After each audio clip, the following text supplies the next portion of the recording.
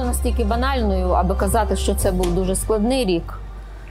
Кожен рік е, має бути уроком для кожного з нас. Якщо ми уроки не засвоюємо, то переносимо цю помилку в наступний рік, і тоді снігова лавина просто нас збиває. Що ми отримали цьогоріч? Цьогоріч ми отримали понад 100 тисячну орду у нас на кордоні. Чим це зумовлено, на мою думку? На мою думку, це зумовлено внутрішньою ситуацією в країні. Тобто, хоч що відбувається на зовнішній арені, воно завжди є наслідком того, що у нас всередині. Тому апелювати постійно, скажімо, до когось, аби нас захищав, це демонструвати інфантильну, незрілу і підліткову позицію. Чи за тих вісім років, коли у нас триває війна з Московією, а тепер ми кажемо, що можливість повномасштабного наступу, чи за тих вісім років ми реально мілітаризували країну? Запитання залишаю риторичним. Звісно, що ми цього не зробили. Тому з уст е, одіозних, просто диких фігур московського простору, на зразок Жириновського чи ще там когось, ми чуємо фрази, що нас треба з вами бомбувати у новорічну ніч. У мене постає запитання. Якщо зовнішні сили про нас кажуть щось подібне, то чи за тих вісім років ми посадили бодай би хоч одного внутрішнього ворога всередині нашої країни? До якого часу ми будемо демонструвати таку безпрецедентну інфантильність, поблажливість, компромісність абсолютно у всіх питаннях? Тобто жодного разу ми не бачили ще відкритого процесу над відкритими ворогами країни, над зрадниками, над колаборантами. У нас в Верховній Раді лежить законопроєкт Оксани Савчук, моєї посестри, про колаборацію. Чому ви за це не голосуєте за цей закон? Якщо ви у Верховній Раді за такий закон голосували, то і внутрішні вороги, і зовнішні вороги мали би ці запобіжники, що якщо такі ти речі говориш, значить за це ти будеш відповідати. Тобто мені здається, що власне ось цей рік, який відходить, він би мав стати для українців найбільшою научкою в сенсі викрешування все з себе, врешті-решт, нації месника, а не нації жертви, яка весь час заглядає комусь у писочок, чи Європі, чи Америці, що вони там скажуть про нас. Тепер ми будемо чекати, що вони про нас скажуть 10 січня. Що вони скажуть про нас 12 січня? Що вони там домовляться про нас у на наш старий новий рік з 13 на 14? Розумієте? Отже, ту всю страшну і дику сучасність, ту неймовірну загроженість нашої державності я асоціюю, звісно, що з історією. Тому що українці це народ, який не засвоює історію, очевидно, її не читає або не хоче читати. Так от свого часу Богдан Хмельницький, який зробив цю злощасну помилку, уклавши військовий е, союз із московитами, казав, що Москва для України це одвічний бич. Що означає бич? Це те, що має стимулювати націю стати борцем, месником і воїном. І це має бути кожен абсолютно з нас. Не хтось має нас захищати, а кожен, власне, таку позицію має виявляти. І сьогодні, сидячи у цій студії і підсумовуючи цей рік, ми маємо задати всі тих понад 50 воїнів, які загинули. Але найстрашніше, що ми маємо в державі, ми не виробили в абсолютної більшості нашого суспільства агресивного ставлення до ворога. До зла треба бути злими. Це не моя версія, це біблійна теза. Апостол Павло каже: нехай ваша любов буде нелицемірна. Любіть добро і ненавидьте зло. У нас немає ненависти до зла. У нас даруйте знову біблійне, бо ми на порозі Різдва. Так, так, на порозі Різдва. Блаженний муж на лукаву не вступає раду. А у нас цілих вісім років вступають на лукаву раду із ворогом, і потім дивуються, що стотисячна орда стоїть на кордоні. Отже, проблема наша у нас самих, і нам Господь дає стільки посилів, аби ми, врешті-решт, внутрішньо почали змінюватися і засвоїли моделі поведінки унікального покоління, покоління української повстанської армії, 80-літній ювілей якої ми власне наступного року і будемо відзначати.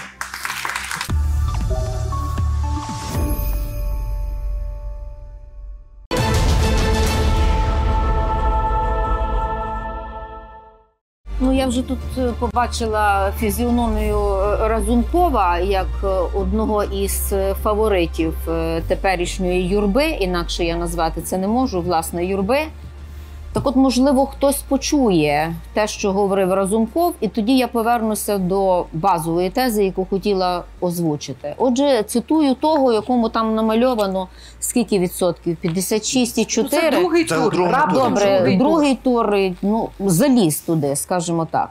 Отже, цитую е, Разумкова: насправді все, що може роз'єднувати українців, віра, мова, чуєте, це те, що нас роз'єднує. Насправді, все, що може роз'єднувати українців, віра, мова, територія, якісь історичні лідери потрібно винести за дужки. Себто наші історичні лідери е, названо неозначеним займенником, абсолютно зневажливим в цьому тексті, як якісь. Далі. Забути, винести за дужки поняття мова, герої, історія. Ну, звісно, не герої не можуть цінувати героїв. Малі ніколи не оцінять великих. Малі будуть великих ненавидіти. Малі будуть їх знищувати, малі, малі їх будуть обгаджувати і обгеджувати, малі будуть їх опускати до своєї малости. От серед цієї малости перебуває Разумков. Я вже не кажу про патрона, під яким він зайшов у парламент. Там малість навіть не треба розглядати особливо. Хоч для мене е, малість тут і суперник е, е, Зеленського. Ви знаєте, як я ставлюся до цієї персони. Отже, забути, винести за дужки поняття мова, герої, історія це не ті речі, з якими ми маємо йти далі. Тобто, це я вам процитувала Вакарчука, Святослава Вакарчука, отого півця. Тобто, Разумков насправді оцю фразу про те, що нас роз'єднує віра, мова, територія і якісь історичні лідери, поцупив у цього півця Вакарчука, який це сказав російською мовою, до речі, тоді, коли ми гинули на Майдані, коли Юрко у нас стріляли. Це був 2014 рік. Тоді цей прихвостень, інакше його назвати не можу, одного відомого олігарха закидував суспільство ось цю ідеологему. І суспільство цю ідеологему схавало. Так, я вживаю цей жаргонізм. Можливо, мене почує ця юрба, про яку слушно говорив Остап.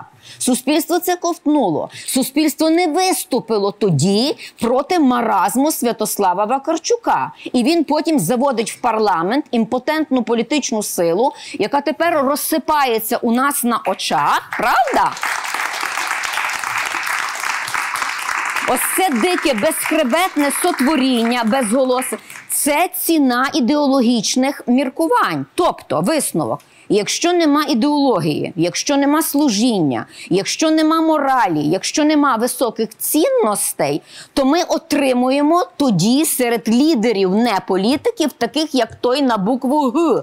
Вибачте, я вважаю, що наше середовище надто пристойне, щоб озвучувати прізвище цієї лисої, ну бика цього лисого, чи як його назвати, цього сутенера повій в країні. Це просто не вкладається в голову. А це наслідок того, що сказав Вакарчук. У 2014 році, а потім повторив Разумков. А тепер крутимося далі. А що далі? Я хочу, щоб ми наголосили з вами зараз е, особливу увагу на ще одному стратегічному міністерстві. Бо про одне стратегічне міністерство хлопці тут добре говорили. І Маркіян, і Юрко, і, і, і е, е, мої колеги говорили про це Міністерство оборони. А я хочу звернути увагу на інше стратегічно важливе міністерство, яке ми представляємо тут з паном Бучином. Це Міністерство освіти. І саме діяльність Міністерства освіти це наслідок того, за що голосує наше общество.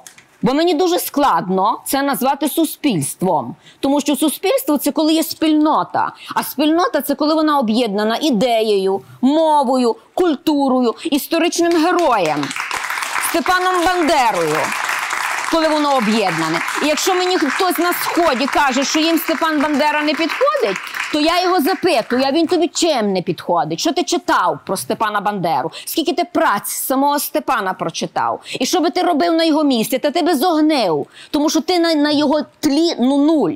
Тому Міністерство освіти і науки 2014 рік.